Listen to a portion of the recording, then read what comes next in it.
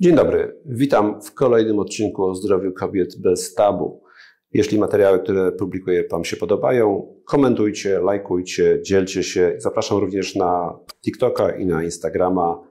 Tam również jestem obecny. Dziś parę słów na temat badań krwi. Jak się przygotować, czego robić, czego nie robić.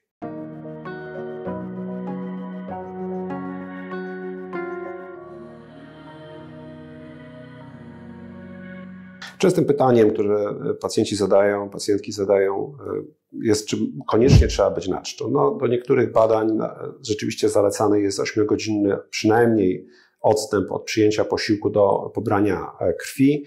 E, przy czym nie we wszystkich sytuacjach jest to konieczne. Na przykład, jeżeli robimy profile hormonalne, to znaczy przykładowo robimy badanie o godzinie, w godzinach porannych i robimy badanie w godzinach wieczornych albo popołudniowych co ma na przykład miejsce przy ocenie profilu dobowego kortyzolu bądź też prolaktyny, kwestia przyjęcia posiłku nie ma znaczenia. Czy można pić? Generalnie można pić wodę, można pić obojętne płyny. W wypełnienie łożyska naczyniowego, które jest znacznie lepsze po wypiciu wody, ułatwia wkłucie i e, zmniejsza ryzyko, że później ten łokieć będzie strasznie zasiniony, a pacjentka powie, ojejku, ta, ta, ta pielęgniarka jest tak niesprawna, skuła mnie sześć razy i wyglądam jakbym dawała w żyłę.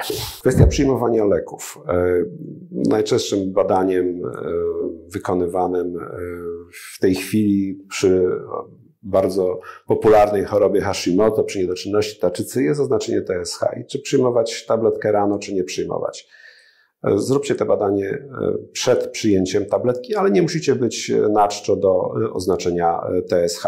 Czy można ćwiczyć przed badaniami? Generalnie nie powinno się wykonywać badań, zwłaszcza prolaktyny, kortyzolu po intensywnym wysiłku fizycznym. Darujcie sobie na 24 godziny przynajmniej intensywny wysiłek fizyczny, jeśli planujecie wykonywanie badań laboratoryjnych. E, dotyczy to również współżycia, bo na przykład oznaczenie prolaktyny wykonane na następny dzień po radosnej nocy może być bardzo wysokie.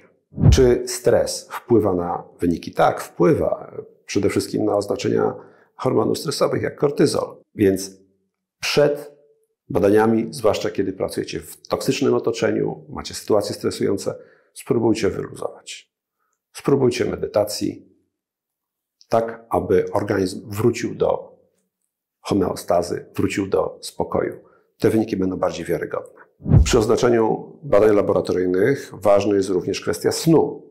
Starajcie się wyspać te 8 godzin przed badaniami, bo nieprzespana noc wpłynie na oznaczenie kortyzolu, wpłynie na oznaczenie prolaktyny, Mała uwaga, którą już powtarzam chyba po raz trzeci albo czwarty w materiałach publikowanych. Jeżeli macie wykonywany test tolerancji glukozy w ciąży, drogie panie, pobranie krwi na czczo i następnie te dwie godziny trzeba spędzić z gazetą, książką w punkcie pobrań. Nie idźcie na zakupy, siedźcie na miejscu, bo w takiej sytuacji, jeżeli zaczniecie sobie gdzieś wędrować, to oznaczenie, ten test tolerancji glukozy będzie niemiarodajny. Jeżeli macie jakiekolwiek wątpliwości dotyczące mm, badań laboratoryjnych, zapytajcie pielęgniarki w punkcie Power. Te dziewczyny są naprawdę dobrze przeszkolone. W każdej chwili mogą zresztą sprawdzić e, w materiałach, e, które mamy na komputerach, e, czy przyjmowanie danego leku, czy jakaś tam sytuacja może wpłynąć na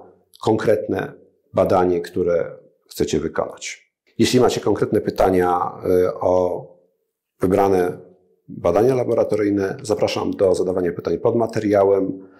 Do zobaczenia w kolejnych materiałach. Wszystkiego dobrego.